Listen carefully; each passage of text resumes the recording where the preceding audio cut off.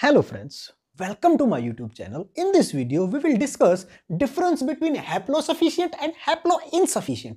Haplo, haplo means single.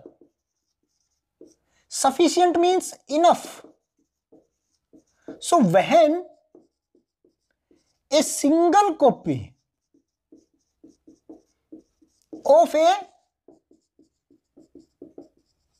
particular allele of a gene is sufficient or enough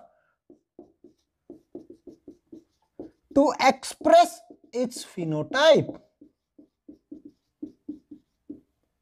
Then it will be called haplosufficient. When single copy of particular allele of a gene is sufficient to express its phenotype. So let's understand this with an example. Suppose we have capital T, capital T and we know that its phenotype will be tall. So here we have two copy of a particular allele. Allele is capital T. So here we have two copy. But when we have one copy, suppose this, this condition, here capital T and small t. So here we have only single allele.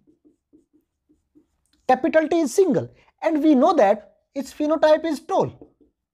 So here this single allele is expressing its phenotype and causing tallness. So in that case this L capital allele will be called haplo sufficient. So here you can see that when it is single in case of heterozygous condition Another allele is small t. So this is single and this is expressing itself and this is causing its phenotype. So this will be called haplosufficient. In case of haploinsufficient, similarly haplo means single. Insufficient means not enough.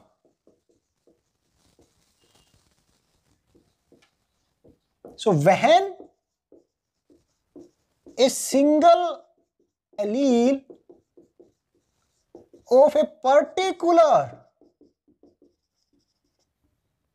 gene is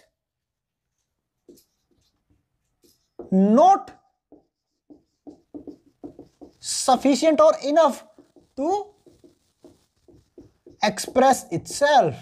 Means here the requirement is of two allele to express its phenotype. In that case, when it is single, it will express itself. Suppose, here I am taking example, small t and small t. It is causing dwarfness. So here you can see that two alleles are present and these if alleles are two then they are expressing itself. But when condition is this, here you can see that small t is a single allele in that case another allele is capital T. So in that case the phenotype will be tallness. So here this allele cannot express itself because a single copy of it is present. So when a single copy, look at the definition, when a single allele of a particular gene, so this is single, is not sufficient to express itself. So it will not express itself. It will be called haplo insufficient. So when a single copy of any gene is present and it will express itself, for example capital T, then it will be called haplosufficient. But when single copy is unable to express itself, it will express itself when there are two copies so here in that case you can see that here is two copy small t and small t. It will express itself. It will cause it will cause dwarfness. But when one allele is present here, capital T and small t. So single allele is present there. Here it is unable to express itself. So it will be called haploinsufficient.